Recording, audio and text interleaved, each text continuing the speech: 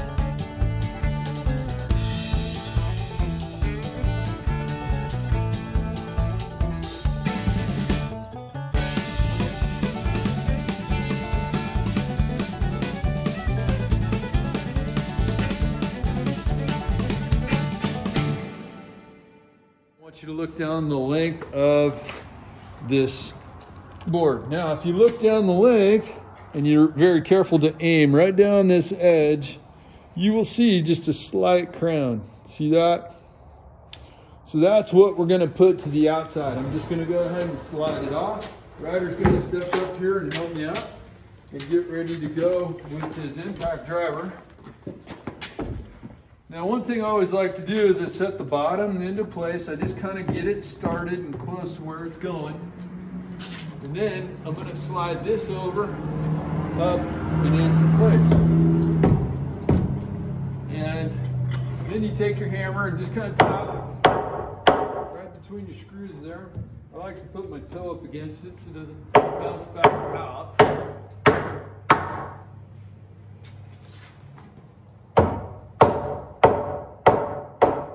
Now, I'm going to leave it slightly skewed so that as Ryder drives the screw, it's going to drive it over and flush to the opening. Well, good Lord willing, it doesn't always work that way. But that's the intention of our work.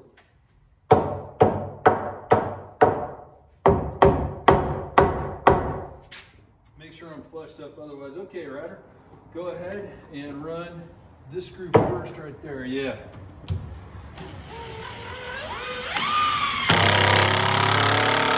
Stop, wait. Now let's check it. Are we flush? Almost. So let me see if I can tap it a little more. Move your foot so I don't hit you. There you go. Okay.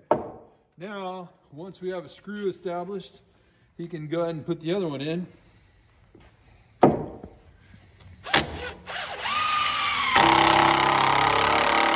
Real good. Okay, now since it's uh, a by six, we're gonna try to put a minimum of four screws into the bottom. So Ryder's gonna go ahead and finish that up. And when he's done, that's that.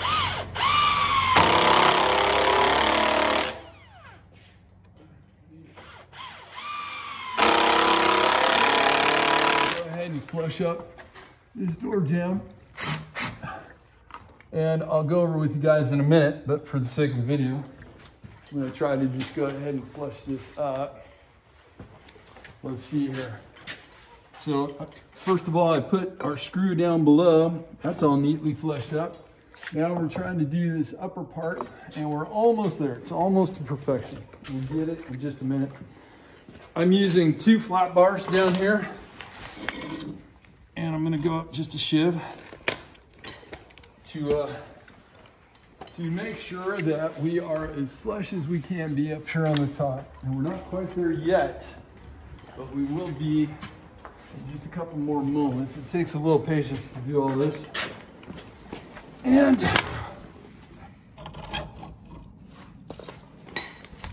see if that works. Oh, went too far, so I'm gonna back up a little bit. Ryder, I think you're holding on just a little too tight, son. Relax a little bit. And uh, you just want to keep it from falling out of the jamb, that's all. Okay, we're very close, and because we're very close, works for us. So I'm gonna go ahead and put this last screw here in the jamb.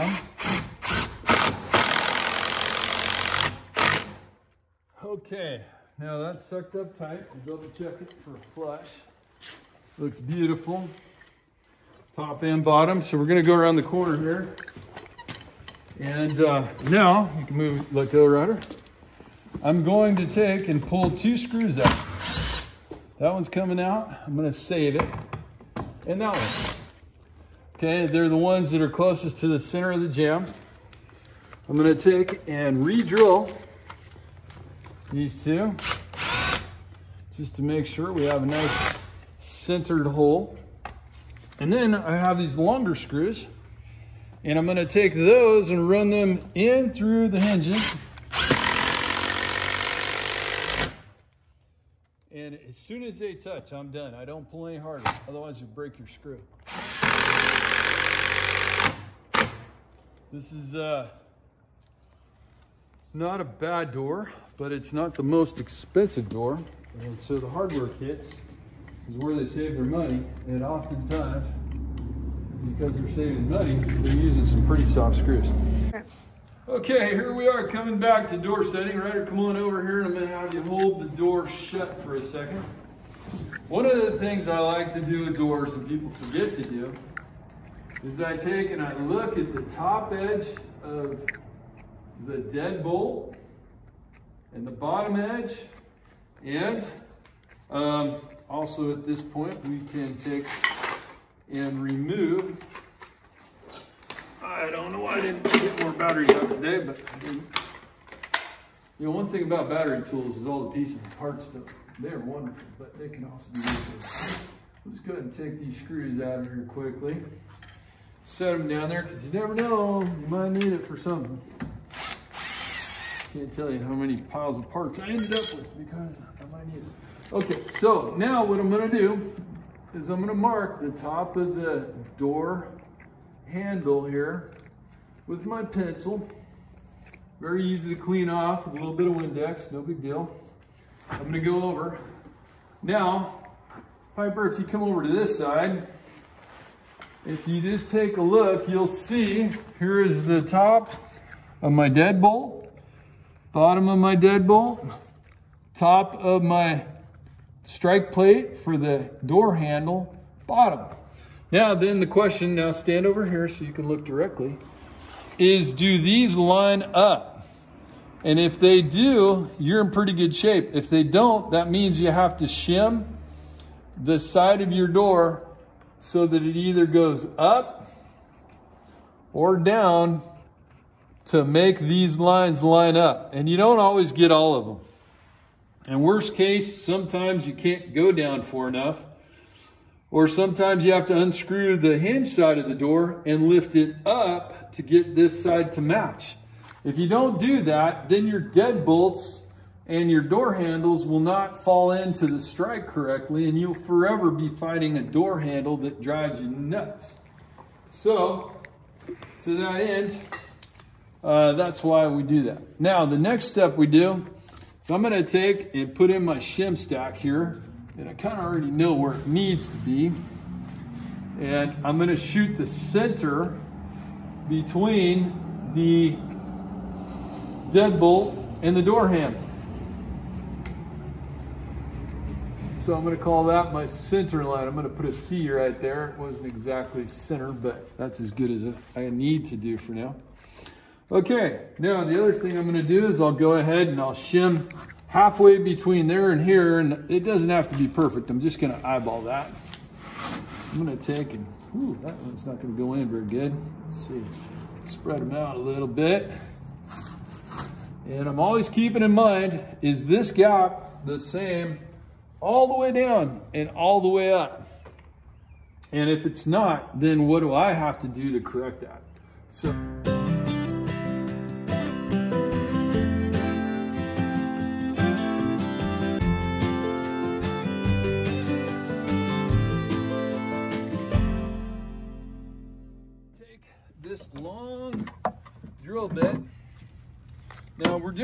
Siding. It's on the back side of the house. It's up high. Anything within an eighth of an inch is gonna be good enough for what it is we're trying to do here. Okay, it's, uh, it's within the caulkable range. So I'm gonna come out with my drill bit about the bit, length of a bit. I'm just gonna go ahead and drill some of this out.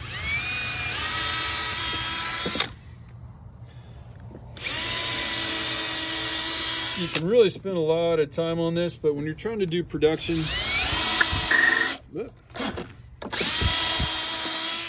like I said, as long as you're within an eighth of an inch, now we'll take and drill sideways and just lift the drill up. See how the drill's actually cutting the curve for us? And I'll come over here. That's a quick way to save a whole bunch of time with a chisel. You see these, these uh, long drill bits are pretty flexible. You can kind of hold on to them if you need to. I'll hold this down with my knee. I just kind of work it back and forth.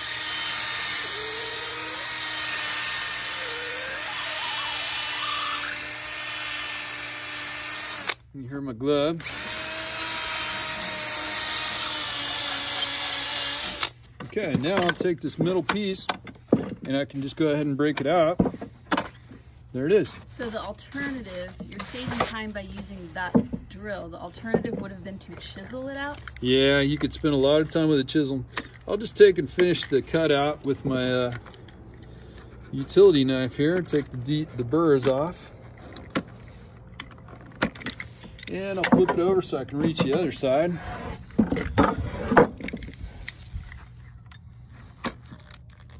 Trim off the burrs again.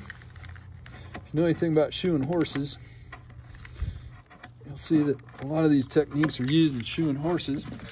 Okay, now that is good enough. You can see where I did the overcut on the backside. But if you flip it over, see there, you can't even see the cut. This is gonna be a great piece for the top, right in the center, and that's that.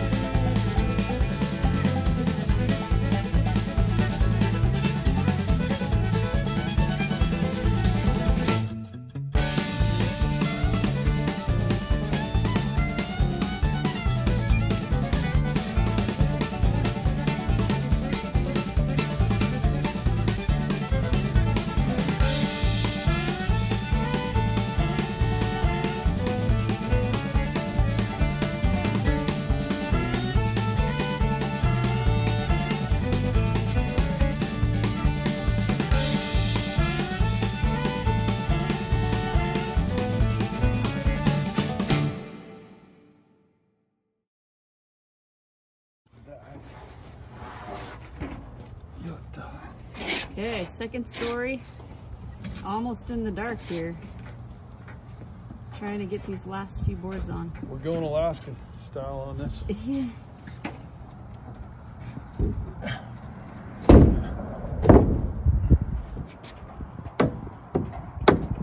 Ryder, would you tap down there on that with your hammer? Try to tap it in. There's This corner right here quickly. It's not gonna work. We're gonna turn the tape. Okay, watch yourself and bring me this up.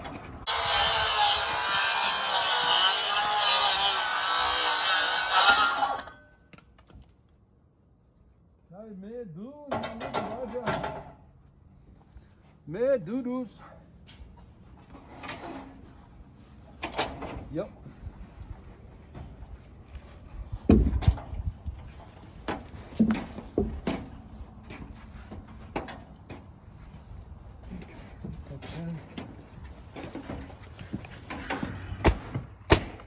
Ah, yeah, move it.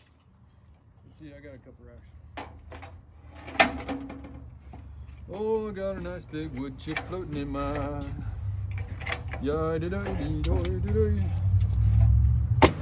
alright. I came up to offload some of this wood from the, the job site. And our kitties, for whatever reason, they have an affinity for this old beat up golf cart. And as soon as I parked, they came running over to me and uh, Sugar here, she uh, decided to jump in the cart. They like to sleep on it. So I have I have a little inspector that came to visit me today. This morning I am cutting blogs, blogs, blogs. You need lots of blogs on your house. I'm trying to cut siding and the best fit is the scribe fit. So checking all of our measurements. Watch this little trick right here. See how you can take a pencil, put it on your finger and just slide it like that. See there? Gives a nice simple little trim there. But then I also need my length. So I'll set it up here. I give myself a little mark so I've already got a point of reference. So Brian and Ryder are putting the batting on, see this is the, the south side of the house. Two story, the master there over the garage. They're finishing up the batting and he's got his, um, So is that it? Are we done all the way across? they're not farm jacks. What are those?